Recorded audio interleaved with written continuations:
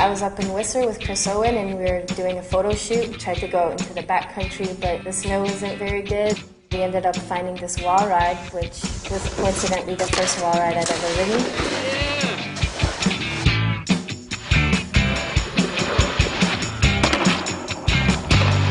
And with a few tips from Chris Owen, we got a photo for it and it turned out to be my ad.